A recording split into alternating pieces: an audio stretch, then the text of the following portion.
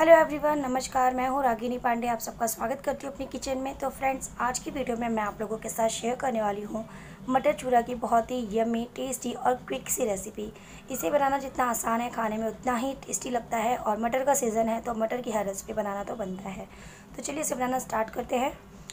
सबसे पहले हम एक कढ़ाई गर्म करने रख देंगे और इसमें डालेंगे तेल। इसके पहले आप चूड़ा जो आपने पोहा लिया, उसे धो लीजिए और इसके बाद ये प्रोसेस चालू करिएगा।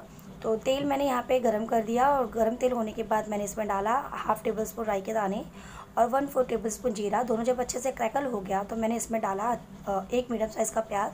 थोड़े छोटे पर मोटे टुकड़ों में कटा हुआ और प्याज को हम दो मिनट के लिए पका लेंगे मीडियम फ्लेम पे और उसके बाद हम ऐड करेंगे दो हरी मिर्च, बीस से स्प्लिट की हुई और कुछ करी पत्ते।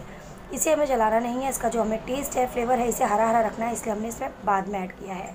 और प्याज के साथ हम इसे कुछ सेकंड के लिए पका लेंगे। इसके बाद हम इसमें ऐड करेंगे फ्रेश हरी मटर के दाने। अगर आपके पास फ्रेश हरी मटर के दाने हैं तो आप ऐड कर सकते हैं, या तो आप फ्रोज़न मटर यूज़ करना चाहते हैं तो फ्रोज़न मटर भी यूज़ कर सकते हैं। पर ये जो मटर चूरा है, ये फ्रेश मटर के दानों से ही बहुत ही टेस्टी जमी लगता है।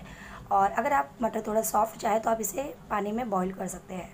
तो यहाँ पे देखिए, मैंने मटर के दानों को अच्छे से प्याज के साथ मिक्स कर दिया। दो मिनट के लिए हम मीडियम फ्लेम पर ढक देंगे, ताकि मटर के दाने अच्छे से सॉफ्ट हो जाए।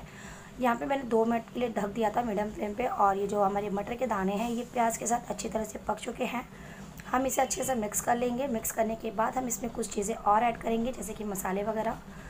तो फ़िलहाल मैं यहाँ पे ऐड कर रही हूँ फ्रेश हरी धनिया का पत्ता। थोड़ा सा फ्रेश हरी धनिया का पत्ता हम ऐड करेंगे इसी टाइम पे, इस वक्त, ताकि जो धनिया का पत्ते का फ्लेवर है ना, वो सारा इसमें ऑयल में आ जाए। और जब हम इसे पोहा में मिक्स करें तो हमारे पोहा जो है ना, वो बहुत ही टेस्टी बने। तो यहाँ पे धनिया का पत्ता मैंने लगभग एक छोटी चम्मच के लगभग आसपास ऐड किया था मिक्स कर दिया।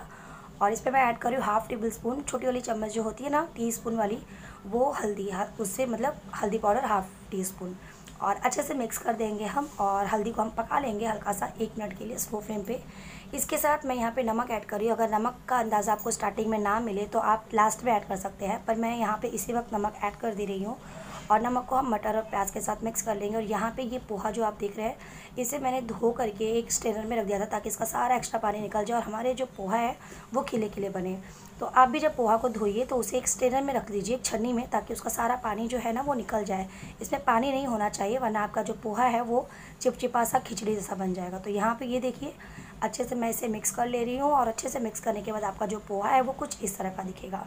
तो यहाँ पे वैसे तो हमारा मटर चूरा बनके तैयार है, पर हम इसे थोड़ा सा और पकाएँगे, थोड़ा सा और फ्लेवर देंगे। तो अब हमें इसे एक्स्ट्रा सॉफ्ट करने के लिए इसे ढक देना है एक मिनट के लिए स्लो फ्लेम पे, और इसके बाद इसे ओपन करके इसमें ऐड करना हरे धनिया का पत्ता ढेर सारा, ताकि इसका स्वाद बेहद टेस्टी आए, और इसके साथ पे हाफ़ नींबू का रस नींबू का रस इसे बहुत ही चटपटा बना देता है। तो फ़िलहाल मेरे मुँह पे इसे रिकॉर्ड करते टाइम ही पानी आ रहा है।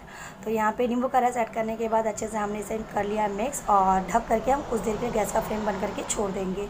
इसके बाद हम इसे सर्व कर लेंगे। हमारा जो पोहा चूरा है मीन्स सॉरी मटर चूरा है, बन के रेडी है। आप इसे ज़रूर ट्राई करिएगा। आई होप आपको वीडियो पसंद आई होगी। चलिए मिलेंगे अगली वीडियो में। Bye take care